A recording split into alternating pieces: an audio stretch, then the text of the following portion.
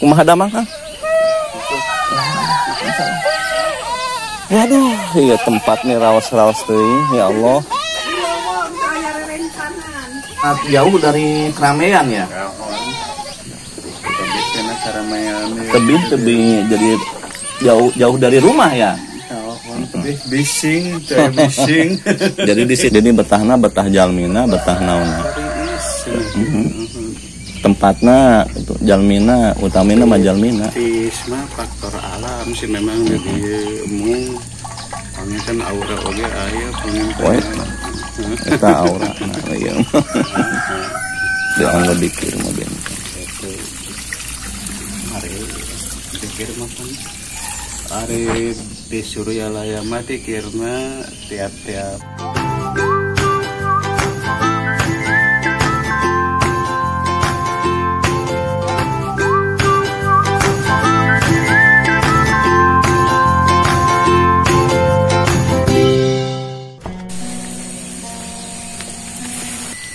Sampurasun.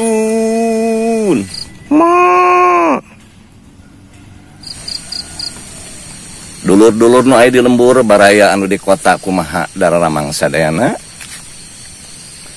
Ku ua didoakeun mugi singgi nulur karahayuan barokah salalamat sadayana kalawan cager beuteung waras badan. Nah teman-teman, pada kesempatan kali ini saya sedang berjalan menuju sebuah rumah yang jauh dari mana-mana ya. Jadi terpencil dari kampung yang lain ya. Tepatnya daerah sini. Sambil saya mengajak Anda untuk bertafakur melihat alam semesta ini karena memang saya sengaja di channel ini menggunakan kalimat tadabur alam pertanda bahwa kita adalah untuk bertafakur melihat alam ya. Dan kita tafakur melihat alam ini teman-teman sekalian ini adalah sebagian daripada ibadah. Bahkan ganjarannya lebih besar dari eh, ibadah-ibadah yang lain ya. Sampaikan beribu-ribu lipat ya kalau kita bertafakur nah inilah teman-teman sekalian alam indah yang kita lihat di pagi hari ini menunjukkan sesuatu keindahan alam dan ketika kita melihat keindahan alam seperti ini teman-teman sekalian kita ingat kepada penciptanya. Dan kosongkanlah pikiran Anda dan fokus melihat alam ini ya untuk menetralisir semua pikiran-pikiran yang kotor kita Nah, setelahnya kita ternetralisir pikiran kotor dan mengingat kepada ciptaannya seperti ini, teman-teman. Nah, maka Anda ada dalam keheningan, ya. Jadi kita ada dalam keheningan dan di keheningan itu tentu saja teman-teman sekalian di sana kita berpikir, bertapakur juga sambil isi dengan kalimat zikrullah. Nah, sampai kita hening, yang terdengar hanyalah suara alam seperti ini, ya. Nah, kita lihat dulu ke bawah, teman-teman. Suara air yang kita dengar di kesempatan kali ini, teman-teman, ini adalah salah satu fenomena alam yang perlu kita tapakuri dan perlu kita syukuri. Nah, ini jauh sekali ke tempat yang lain teman-teman ya. Nah, jadi masalahnya bukan urusan indah ya, urusan indah, tapi urusan syukur ini ya. Kalau kita bersyukur apa pun kelihatannya akan indah. Nah, kita lewat dulu teman-teman ke sebelah sini ya. Nah ini air yang mengalir kita lihat ya nah ini ada selokan yang sangat jernih ya saya heran ya ini dari mana asalnya ya hmm. air ini nggak tahu dari mana asalnya ya.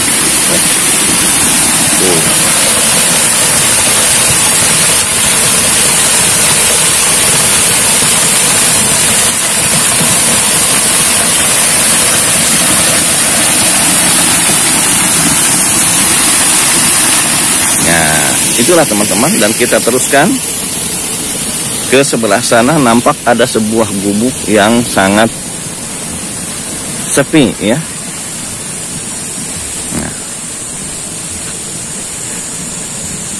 sawahnya sebelah sana mulai kelihatan hijau bahkan sudah keluar buah ya. Nah.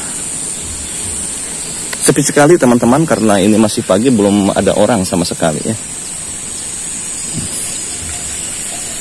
Nah kita bayangkan teman-teman Kalau seandainya ini gubuk punya saya Mungkin saya bisa beristirahat dulu di sini Karena ini gubuk punya orang lain. Ya cukup hanya menikmati untuk dilihat ya. Nah Kita akan pergi ke sana dulu teman-teman Ya. Walaupun ini tidak ada orangnya tempatnya ini mungkin kalau kita mau sholat, mau beristirahat di sinilah habis capek ya.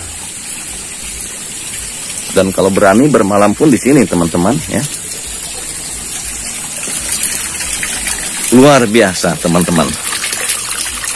Airnya sangat jernih sekali nih. Kayaknya saya berani ini minum langsung dari sini ya, karena ini air yang sangat alami. Ya.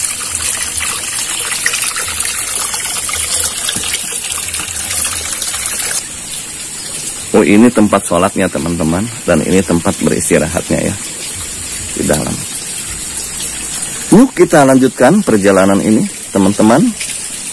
Saya akan mendatangi sebuah rumah ya yang jauh dari keramaian orang ya. Hanya ada terpencil satu ya yang saya ingat ya.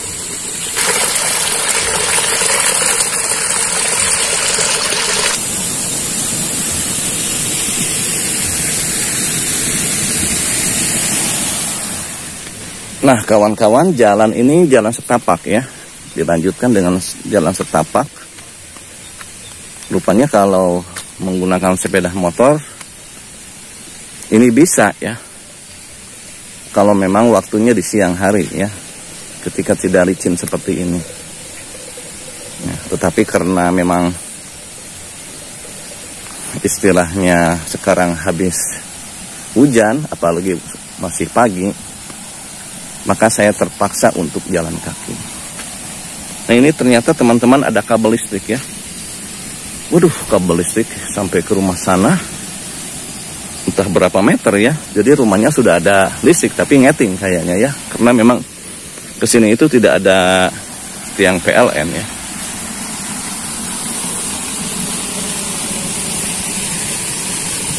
Harus sepi sekali teman-teman. Ini tidak ada rumah ya yang saya rasakan. Keheningan pagi di waktu kali ini teman-teman membawa tenteramnya hati saya dan mudah-mudahan Anda pun tertarik oleh saya supaya mendapatkan ketenangan jiwa, mendapatkan ketentraman. Sambil kita beristirahat, teman-teman, mari anda dengarkan musik alam dan musik perkampungan di uh, pagi hari ini. Harus lumayan teman-teman, saya berjalan agak jauh ya ini karena memang tidak bisa menggunakan sepeda motor.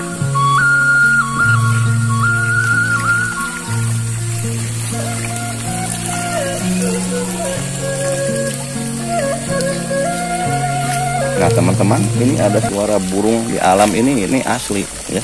Ini bukan editan ya. Nah, inilah suara alam. Dan kita akan melewati sedikit pesawahan teman-teman. Dan juga aliran air. Karena memang eh, tidak ditunggu ya, harus ditunggu.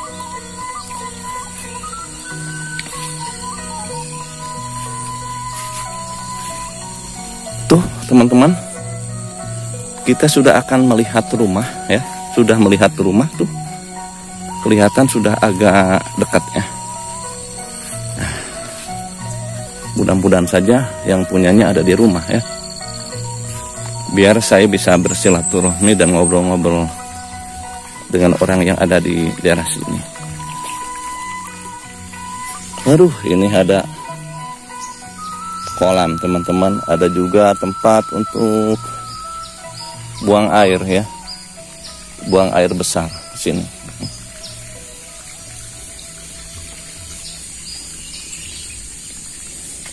Ini sedang musim nanam yang begini teman-teman. Ini namanya porang. Jadi mirip seperti uh, apa? Sobek ya. Nah, tapi ini namanya porang ya. Nggak tahu buat apa ya. Biasanya ditanamnya hektaran ini. Nah, kita sudah hampir sampai ke rumahnya teman-teman. Harus lumayan luar biasa. Dinginnya udara di pagi hari ini. Nah, teman-teman kebetulan ada orangnya tuh. Alah. Tidak jauh dari sini ya. Assalamualaikum. Kumaha damang, Kang? Alhamdulillah. Waduh, iya tempat nih rawas-rawas teuing, ya Allah. Di lowong teu aya rerencanan. Mohon. Keun bae rencangan mah persuk nyalampurkeun ka dieu mah seueur. Mohon, kalau rasa kok. ngopi Nah, teman-teman, kita bisa sampai di sini ya.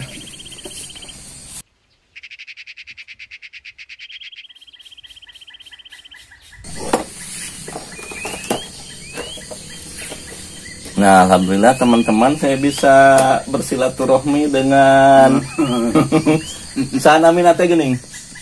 Kang Okong ya. Rosiandi oh Oh, Rosiandi namanya Kang Rosiandi. Jadi tempatnya di sini. kokong Rosiandi Kokong Rosiandi.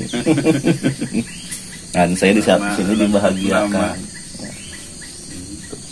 Jadi tempat ini sangat jauh dari keramaian ya. Ieu. Tebing tebing jadi jauh jauh dari rumah ya. Tebih bising, bising.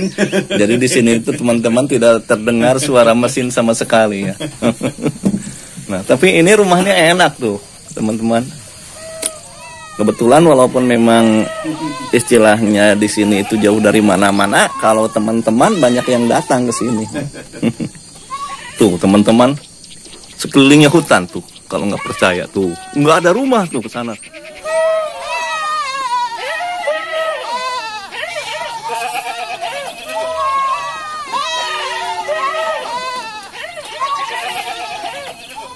Nah, selain ini adalah hutan sekelilingnya ya.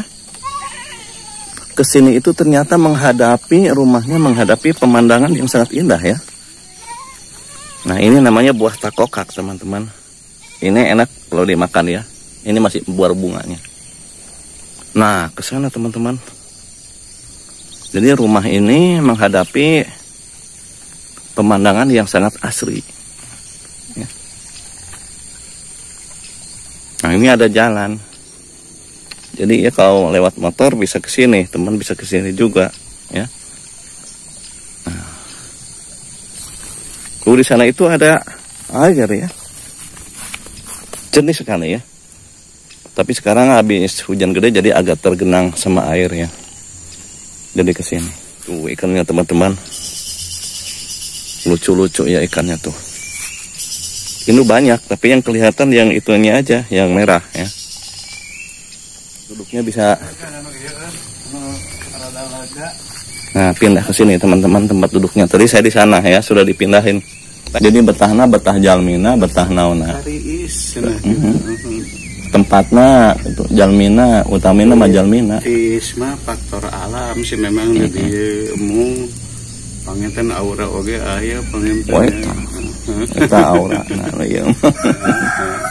Di anggo dikir mah benteng. Itu hari pikir makan hari di Suryalaya mah dikirna tiap-tiap bada sholat fardu atau napi sholat sunat ge kadang-kadang di di tada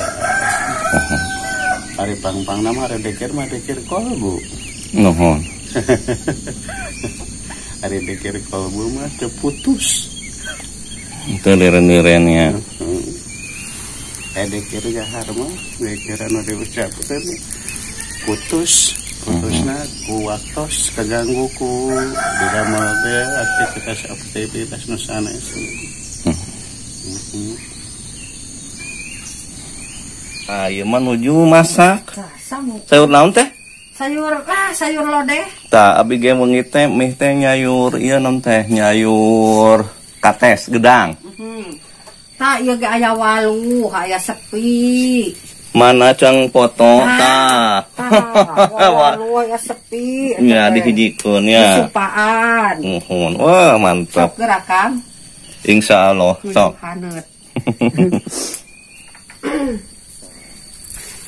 Nah, si luruh heula lah, raoseun. Mun ah. Ada iya, sep.